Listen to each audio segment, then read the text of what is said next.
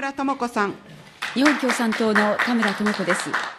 今日は保育の現場を知る方にぜひお話を伺いたいということで、全国保育団体連絡会事務局長の実方信子さんにお越しいただきました。まず、実方参考人にお聞きをいたします。安倍内閣は、待機児童解消加速化プランの柱として、この法案で企業主導型保育事業を新設し、5万人の受け皿にするとしています。それでは今、保育所に入れずに困っている保護者の方の要求に、これは応える施策だとお考えかどうか、お願いいたします実方参考人。え本日はこのような機会をいただいてありがたいと思っています、全国保育団体連絡会の実方と申します。今、田村議員からもありましたように、この問題は連日、マスコミをにぎわしていますが、3月28日に厚生労働省待機児童緊急対策を公表しました。小規模保育所の定員基準の緩和や、国の基準以上で保育をする自治体の基準を国基準並みに引き下げること、つまり、今以上に受け持ち人数を増やすように自治体に要請するなど、規制緩和策が中心になっています。で、この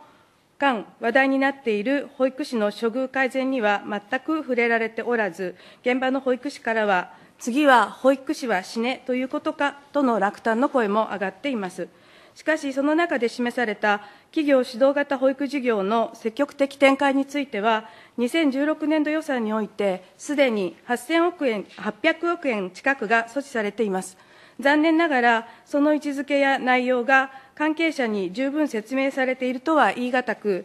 利用者である保護者や現場で働く保育士から疑問や不安の声も多数上がっています。現場の声、あるいは保護者のニーズであるというふうには私たちは考えておりません。今、果たして企業主導型保育が今求められる待機児童対策として十分なものなのか、今、緊急の課題とされている保育士の処遇改善よりも優先されるべきものなのか、以下の点について十分な検討、審議をお願いをしたく、この場をお借りして意見を申し述べさせていただきたいと思います。まず第一に、企業主導型保育事業は認可外施設であり、新制度の実施主体である市町村が関与しないという問題があると思います。え子ども子育て支援制度は、保護者にとって最も身近な市町村が中心となって進めることになっており、これが保護者がこの制度に信頼を寄せるゆえんでもあります。現在、都市部で待機児童が問題になっていますが、市町村に保育の実施責任があるからこそ、保護者は市町村に対して認可保育所入所を待機児童の解消を求めるのであって、市町村が責任を持つということの意味は大変大きいものです。しかし、企業指導型保育事業は、補助金の管理、えー、事業の執行を内閣府が行い、都道府県が指導監督し、事故等があった場合は、設置運営の主体者が責任を負うという、保育に対する責任の所在が多元化しているため、非常に中身中身が分かりにくくなっています。また、認可外施設であるためにも、ために、災害共済給付制度の対象にはならないということも、保護者の不安を大きくしています。これも保護者のニーズではないということの調査であると思います。2つ目に、企業主導型保育事業の基準の問題です。企業主導型保育事業は、夜間休日勤務、あるいは短時間勤務、一時預かりなど、柔軟に対応できるということになっていますが、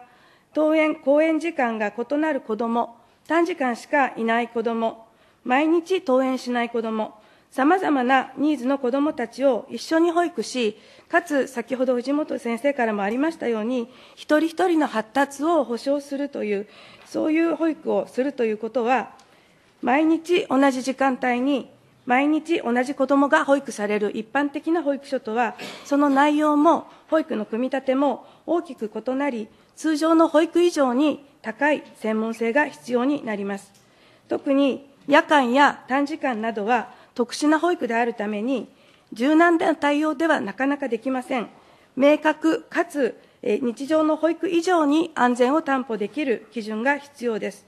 ところが、ここで想定されている保育の基準は、小規模保育の B 型、保育士の資格者は2分の1でいいということで、これは認可保育所の基準より低くなっています。こういうことも保護者の願いには応えるものにならないというふうに思います。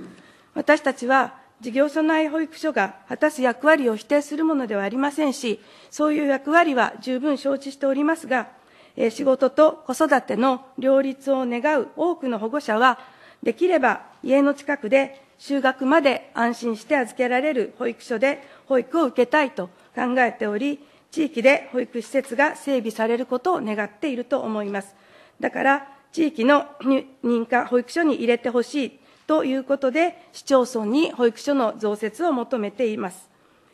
地域の保育所の整備以上のニーズが、企業主導型の保育事業、事業所内保育の整備にあるとは思えません。私は国におかれましては、こうした保護者の切実な願いを踏まえて、えー2年目に入る子ども・子育て支援新制度など、既存の制度がさらに改善されて、市町村が保育に責任を果たせるように、財政も含めてごしご支援をいただけるようにお願いをしたいと考えています。田村智子さん。今あの大きくお答えをいただきました。それで、えっと、少し踏み込んであのお聞きをしたいのは、一つはですね、あの実はこれまでの法案審議の中でも、例えばあの毎日満員電車に揺られてですね、そこに乳幼児抱えて通うなんていうのは大きな負担になるんじゃないかと、こういうあの指摘も、えー他党のあの議員からもされました。そこであの地域での子育て、今お触れになりましたけれども、この地域での子育てという観点から見たときに、企業主導型保育をどのように評価をされますか？実方参考人。はい、あの多くの保護者は地域での子育てを望んでいるということをお話ししましたが、あの経験されている方はもうご存知だと思いますけれども、幼い子供を抱えて、えー通勤をするっていうのはちょっと大変厳しいことだと思います。まして、登園、公園をする保育所の送り迎えというのは、大きな荷物があったり、えそれから汚れ物があったり、え非常に、え負担が大きいです。子供が2人、兄弟がいたりすると、さらにそれは大きなものになります。ですから、えーただ子供を連れて出勤するということではなくて、いろいろな付随するものを連れ、持って、荷物を持って出勤する。で、またその荷物を持って帰っているって、いくというようなことを考えると、やっぱりとても、あの、保護者のニーズには合っていないのではないかなというふうに思います。そして保護者にとっては、0、1、2、あるいは3、4、5のところだけの子育てがあるのではなくて、その後、地域で、えー小学校、中学校まで見通した、保育、あるいは子育てというのを展望しているわけで、企業の保育所、事業所内保育所に入ってしまうと、例えば保護者、両親が同じ職場である場合はいいですけれども、多分あの夫と妻は違う職場にいるんじゃないかと思います。そうしたときに、どちらの職場の事業所内保育所に子どもが入るかということになって、えー片方だけに、えー保育の負担がかかってしまうのではないかと、そういうことを懸念されている、特にお母さん方がたくさんいらっしゃいます。えーそうしたことを考えるときに、えー保育はもう働く、保護者にとっては生活の一部というふうになっていますので、できるだけ、家庭の近くで、そして何かあったときに、地域のコミュニティの中で、両親が迎えに行けないときは、地域の子育てネットワークを幼い時から形成して、そして近所の方も含め、あるいは保育所の子育て仲間も含め、子育てが支え合えるような、そういう状況を作っていくという上でも、やはり地域での子育て、えー地域の保育所での子育てというのが非常に重要になってくるのではないかと思います。田村智子さん。もう一点、あの、最初に指摘のされたですね、質の問題で、私もですね、企業主導型保育が、保育士の有資格者、これは保育をする人の半数でも構わないと、こういう基準になっていることを大変研究していますが、この点についてもう一度お願いできますか？実方参考人。すいません。はい、えー保育の専門性、先ほど保育の質というお話もありましたが、あの保育というのは、えー集団の子どもたちを、まあ、集団で保育するというのが特徴です。1対3とか1対6というのがありますけれども、多くの保育所ではクラスに10人の子どもがいて、そこで複数の保育者が保育をするというふうになっています。日常的にはそのクラスの子どもたちというのは変わらないということになっていますが、ここで想定されている、えー企業主導型保育は、えーっと短時間の子どもだとか、あとは24時間の介所なども想定されています。今、多くの保育所で一時保育など、えー突発的な保育の受け入れもしていますけれども、子どもにとっては初めての場所で知らない人に保育をされるるというのは非常にストレスがたまりますので、そういう子どもを受け入れるということは、保育者の専門性が非常に問われます。大体子どもは大泣きします、初めて行った場所で。そういう子どもたちが毎日入れ替わり来る、それに対応するというようなことは、やはり相当の専門性がないと、えできないというふうに思います。それが資格者が2分の1でいいとか、え保育士の資格がなくてもいいということになると、これは子どもにとってもストレスですし、その子にもストレスですし、そういう子どもに手がかかるということになると、周りの他の子どもたちに対してえー目が向けられない可能性も出てくるということで、全体として保育の質の低下が招かれるのではないかというふうに思います。ですから、普通の保育以上に、えー保育士の配置を手厚くするということの方が私は必要だと思いますので、えー資格者が2分の1というのは非常に安全性の面からも、あるいは保育の質を担保する面からも問題があると思われます。田村智子さん。こういうお声を聞いてから、私はぜひ法案をですね、作っていただきたかったというふうに思います。で政府にお聞きします。事業所内保育事業というのは、児童福祉法に規定をされて、厚生労働省令によって、保育を行う人の配置基準、設備基準など最低基準の定めがあります。これとは別に、企業主導型保育事業を行うとなれば、保育士など人の配置や保育室の面積など施設の基準がどうなるのかと。実はですね、施行日は明日なんです。ところが昨日までも何度聞いても内閣府はこれから考えると。これから決めるんだという答弁で、あまりに無責任だと、まず言わなければなりません。これまでの答弁では、現行の事業所内保育事業の小規模保育 B 型に準じて考えるのだと言います。これだとですね、今指摘あった通り、保育を行う人のうち、保育士資格を持つ人は2分の1以上、つまり半数でも良いということになります。小規模 A 型は全員保育士という基準になっています。わざわざ低い方の基準に準ずるということにしたということですね。竹川統括官。はい、お答えいたします。えー企業主導型保育事業の設置基準につきましては、えー子ども子育て支援新制度における事業所内保育や小規模保育事業の基準を参考に一定の保育の質が担保されるような基準を定める予定でございます。このうち、えー人員配置につきましては、まあ、弾力的な施設運営を可能とするよう、えーおっしゃいましたように、えー事業保育型 B 型に準ずるものとして、えー検討しております。しかしながら、えー例えば、えー保育士をですね、えーさらに、えー配置した場合はですね、えー小規模保育 A 型に見合うようなですね、高い単価推定の助成も考えております。まあ、いずれにいたしましても、えー実施要項でえー質の確保には十分配慮してまいりたいと考えております。田村智子さん。湿度確保に配慮すると言いながら、わざわざ低い方の基準に準ずるとしたんですよ。で小規模保育事業というのは定員が19人以下とされています。しかし企業主導型は小規模 B に準ずると言いながら定員を19人以下には限定していません。定員20人以上の事業所内保育については雇用保険の助成事業でも子ども子育て支援法の事業でもこれ人員配置は認可保育所と同一の基準です。企業主導型保育で定員20人以上の場合はどうなるのかと。同じふうに認可保育所と同一の基準にするのか、それとも20人以上であっても保育士は半数でいいという基準にするんですか？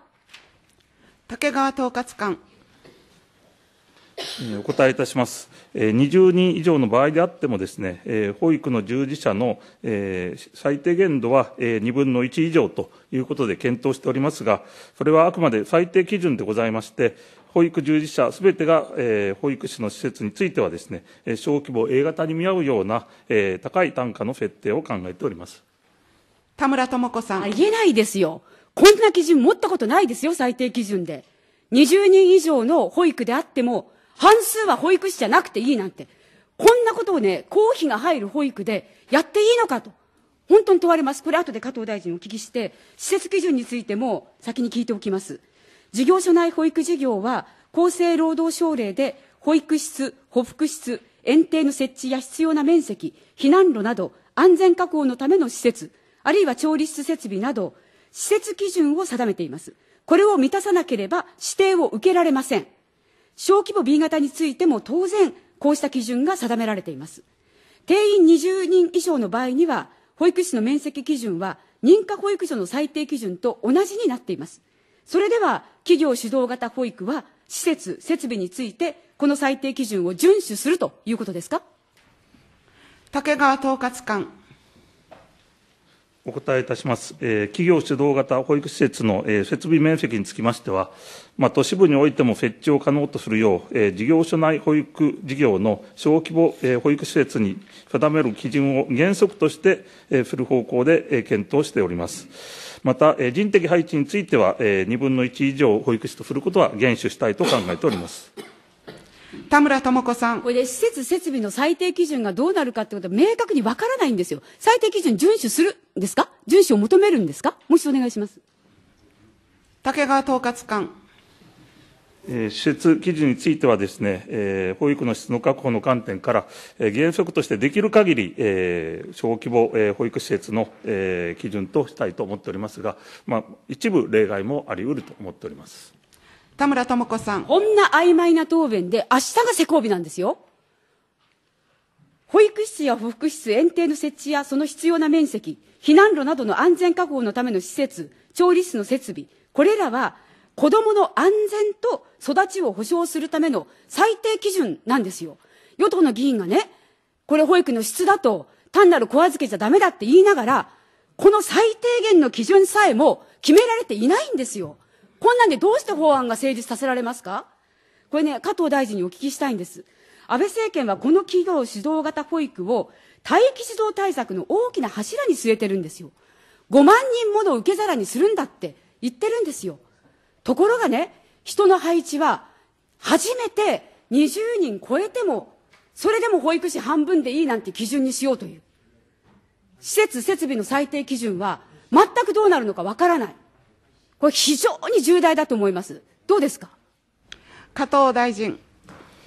あの待機児童解消加速化プランの基本はですね、やはりあくまでも認可保育園等であることは、私の前からご説明している通りでございまして、まあ、今回でもこの50万に対して45.6万人分については認可保育園等で対応するということでありますし、また、えーそうした数字そのものはですね、それぞれの市町村からその地域における待機児童等、あるいは今後の動向等を見極めながらですね、それぞれの市町村からお出しいただいた数字ということを遵守しているわけでございます。ただそれを超える部分については、また、認可保育園には、例えば入りがたい、そうした方々もですね、そうしたニーズがあるわけでありますから、まあそういったニーズに今対応していくということで、今回、企業主導型の保育事業というものを提案をさせていただいている。で、今、あの、中身については、えーせ政府委員からもご説明いたしましたように、まあ、そうしたあ考えに沿ってですね、今、進めさせていただいておりまして、まあ、いずれにしても、一定の保育の質が担保されるように、えー補助金要項でですね、きちっとですね、それは定めていきたいと、こう思っております。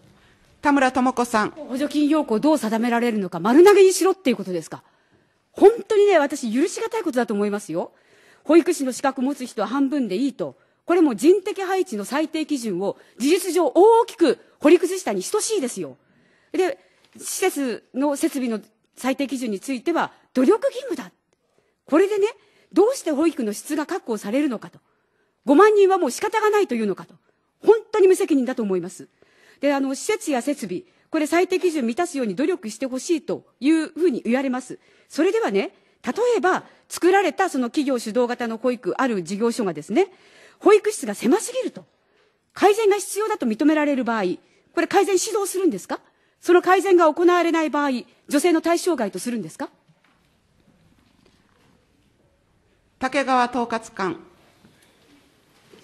はい、お答えいたします。えー認可保育施設の、まあ、最低基準とかけ離れた水準にある施設であって、まあ、著しく不適当な保育内容や保育環境である場合、著しく利用、えー児童の安全性に問題がある場合、その他児童の福祉のために特に必要があると認められる場合においては、児童福祉法上の、えー完全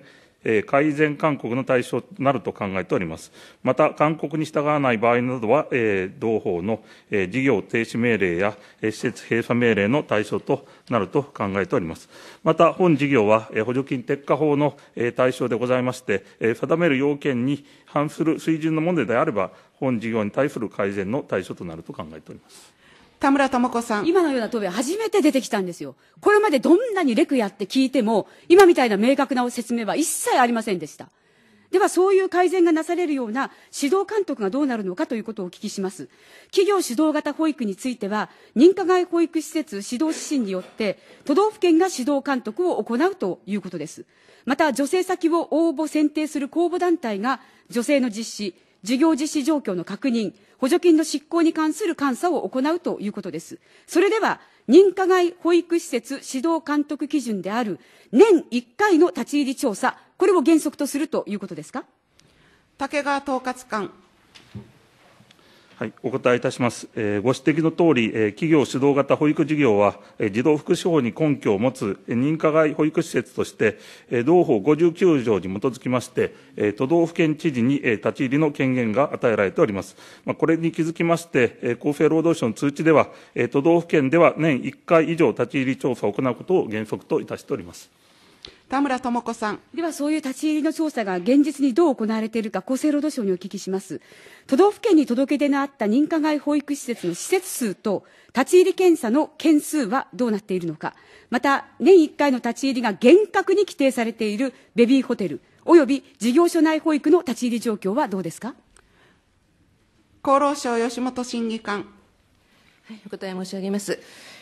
えー、都道府県知事への届け出の対象となっている認可外保育施設の施設数は8163箇所、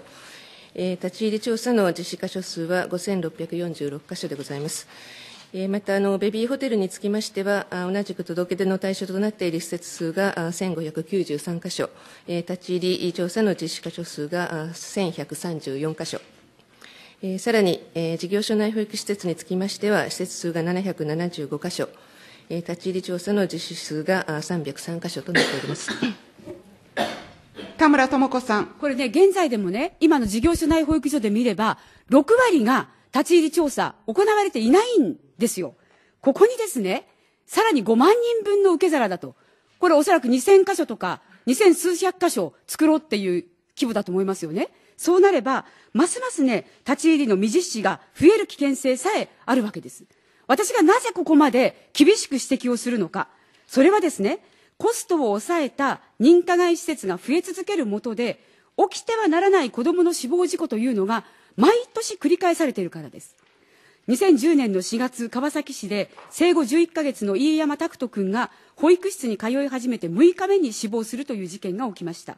うつ伏せ寝にして放置したのではと、ご両親が施設長に事故当時の状況を尋ねると、うつ伏せ寝ではない腹ばいだとの説明が繰り返されました。ご両親は非常に不審に思って川崎市に情報開示請求をしたところ、この保育室が10年前にも死亡事故を起こしていたこと、この事故が起きる前の数年間、保護者からの苦情が多数あり、何度も川崎市が立ち入り検査をしていたことが分かりました。その内容も、保育士の配置が足りない、子供を怒鳴る、叩く、園長が痛みを分からせるためだと子供の腕に噛みつく、衛生上の問題も多々指摘をされていました。驚くのは、それでも児童福祉法に基づく勧告、公表、事業停止などは一度も行われず、口頭指導、文書指導で終わっていたことです。ご両親は、こういう事実が分かっていれば、子供を託すことは絶対になかったと、こう話しておられるわけです。立ち入り調査未実施の施設はたくさんある。立ち入り調査が行われても死亡事故が防げなかったという事例がある。大臣、こういう実態を見て、今回の企業型保育でどうなるのか、どういう認識をお持ちですか？加藤大臣。あの今の事例を言われたようにですね、やはり、えー、子どもさんを預けて、そして迎えに行ったら、全く朝と違う状況であったというのは大変あの何とも言えない親御さんにとってもですね思いだったというふうに思いますまさにあの教育保育施設というのは子どもたちが安心して過ごせるそういう環境の中でですね行われていかなければなりませんし事故で子どもの命が奪われることがあってはならないまさに事故の未然防止に努めていくのは当然の責務だとこういうふうに思います。あの立ち入り調査や指導円滑に行われるよう、現行ではあの事業主の事業事業主の従業員のみを保育している場合には、都道府県知事の届け出を求めないということになっておりますけれども、まあ、今回の企業主導型保育事業においては、届け出をした施設のみを助成の対象とするということでですね、そうしたあ都道府県における対応がよりやりやすい、こういう状況にもしているところでございます。またもちろん、不幸にして死亡事故が発生してしまった場合には、事故から教訓を学び、今後の施設、事業主の取り組みや行政の指導監査の手法を生かし、まあ、再発防止策に役立てなければならないというふうに考えておりますし、また、えー、教育保育施設等における重大事故の再発防止策に関する検討会、昨年12月に最終取りまとめが行われておりますけれども、死亡事故等の重大事故については、地方自治体において外部委員で構成する会議で検証する仕組みの設置、また国においても事故報告の集約や傾向分析、再発防止の提言を行うための有識者会議の設置、これはもう年度明け早々には設置したいと考えておりますけれども、まあ、こうした提言をいただいておりますので、しっかりとこうした事故防止策を進めていきたいというふうに思っております。田村智子さん。これね、あの、都道府県が指導監督するんだっておっしゃいますけれども、企業主導型保育事業は自治体の財政措置はないんですよ。で、先ほど来のご答弁の通り、遵守が求められる施設基準さえもないんですよ。曖昧なんですよ。これではね、指導監督は、現行の事業所内保育と比しても弱まる危険性さえあります。で、公募団体が全国の企業主導型保育を指導監督して、是正の点検などして回るんだろうかと。一体ですね、誰が保育の質の確保に責任を持つことになるんですか？竹川統括官。お答えいたします。企業主導型保育は、児童福祉法に根拠を持つ認可外施設でございます。具体的には、企業主導型保育施設は、都道府県の指導監督を受けるということでございまして、設置にあたって、都道府県への届け出義務、施設の運営状況の報告義務、都道府県による報告聴取、改善勧告、閉鎖等の命令を受けることとなっております。えー、さらに、えー、虚偽報告や平成命令への違反の罰則が課せられることとなります。また、えー、補助金の適切な、えー、執行の観点からは、えー、公募団体により、えー、現地調査を通じた、えー、不正受給の防止や、えー、事業者に対する是正命令、義務違反に対する助成の取り消し等を行うことを想定いたしております。田村智子さん。都道府県はね、補助金出すわけでも何でもないんですよ。都道府県と事前によく協議して、安全性がどう担保されるのか、そんな話し合いもせずにこの法案出してきてるでしょ？本当に無責任に極まれると私は思います。で、この企業指導型保育は、当該事業所から離れた市街地に設置をしてもいいと。当該事業所の労働者の子供を受け入れるために開設されていれば、結果として利用者は地域の子供だけであってもいいと。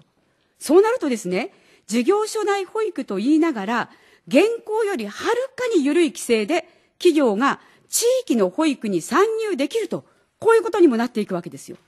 で、その上、もう一点確認したいのは、保育料の設定。これも自由なんじゃないでしょうか。何らかの基準を設けるんでしょうか。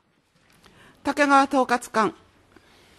えー、お答えいたします。えー企業主導型保育事業における、利用者負担につきましては、事業者の、裁量で設定いただくことを想定しております。しかしながら、事業者に対する運営費補助につきましては、認可の小規模保育事業等と同程度の利用者負担を前提として、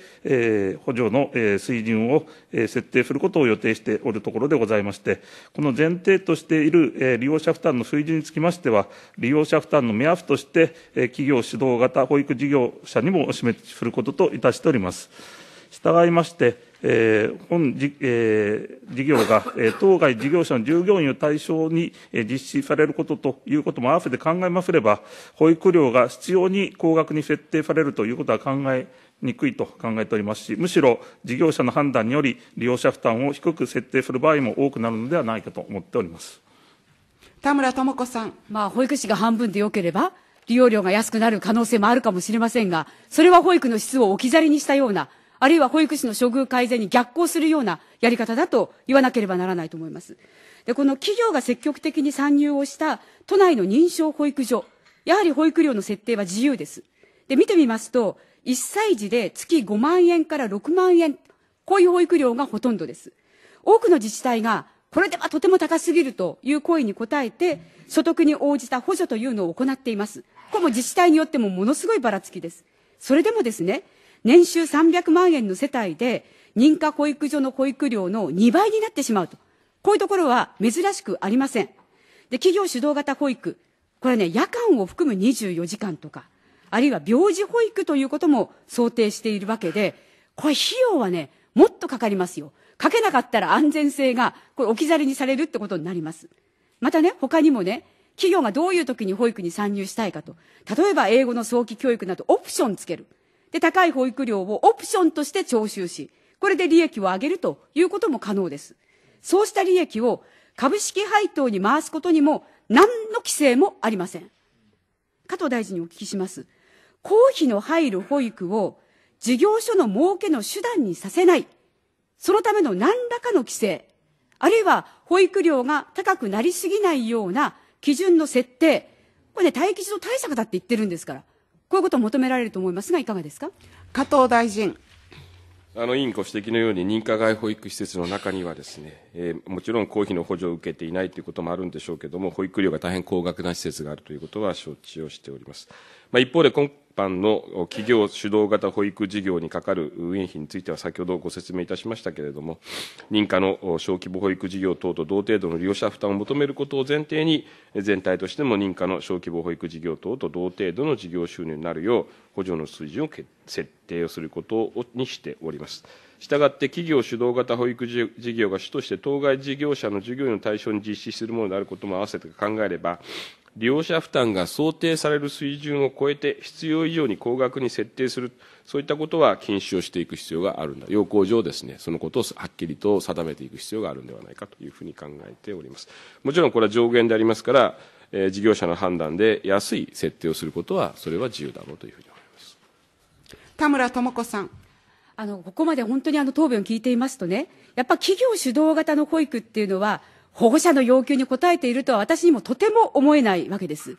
ぱり保護者が求めているのは、お庭があって、保育室も子供が遊べるスペースがちゃんと確保されて、そして専門職の保育士さんが子供に寄り添う、育ちをしっかり支えてくれる。保育料の負担も所得に応じたものにしてほしいと。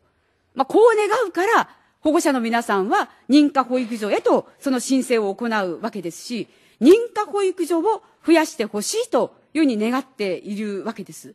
それをね、保育士半数でいいとか、施設基準はないとか、保育料も自由設定だとか、どうしてね、こういう保育施設のために巨額の公費を充てるのか。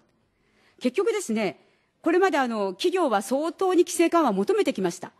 だけども、様々な施設の、あるいは設備の基準が、ハードルが高くて、なかなか参入できない。そういう声はずっとこの10年、15年、私たちのもとにも寄せられてきていたわけですよ。そう自治体の関与もなく、保育事業に参入できるよと。保育の質を担保するハードルも下げられるよと。で、認可保育所の設置に匹敵するような公費がそこに投入されるよと。これは企業の要求ではあるかもしれない。しかし、保護者の要求ではないと思いますが、大臣いかがですか？加藤大臣。あの、先ほど今回の、